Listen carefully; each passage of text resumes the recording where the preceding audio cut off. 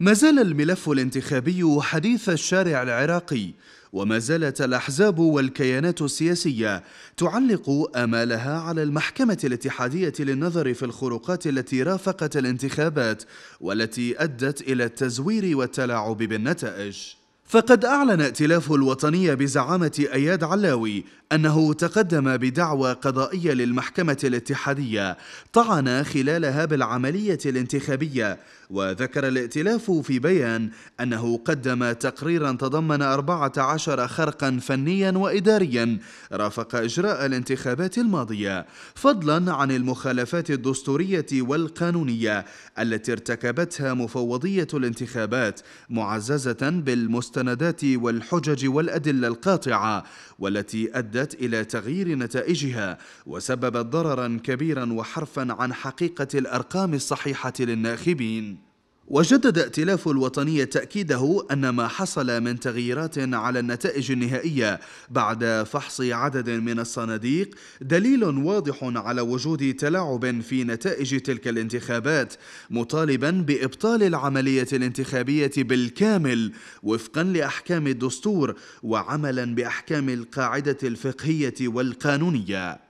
بالتزامن مع الحراك والطعون والمناشدات التي ما زال يوجهها المعترضون على نتائج الانتخابات للمحكمة الاتحادية برزت أصوات تحاول التشويش على عمل المحكمة الاتحادية وعرقلة مسار النظر بالأدلة والوثائق المقدمة ضمن الطعون والتي تؤكد التزوير. هذه الأصوات تدعو إلى المصادقة على النتائج النهائية والتي أعلنت عنها مفوضية الانتخابات بدعوى أن المحكمة ليس من صلاحيتها النظر في الطعون الانتخابية. لكن النائب السابق محمد البلداوي أكد أن من صلاحية المحكمة الاتحادية رفض نتائج الانتخابات كما أكد أن المحكمة تنظر بالطعون بشكل كلي وليس بشكل جزئي. وقال إن الهيئة القضائية في مفوضية الانتخابات نظرت بالطعون المقدمة من أفراد دون النظر إليها بالطعون الكلية على مجمل العملية الانتخابية.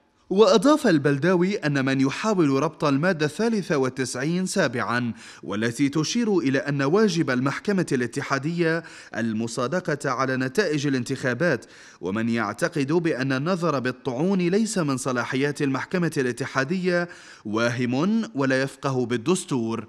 وكشف أن المحكمة الاتحادية استمعت لمحامي الإطار وأحالت جزءا من الطعون إلى خبراء للاستشارة.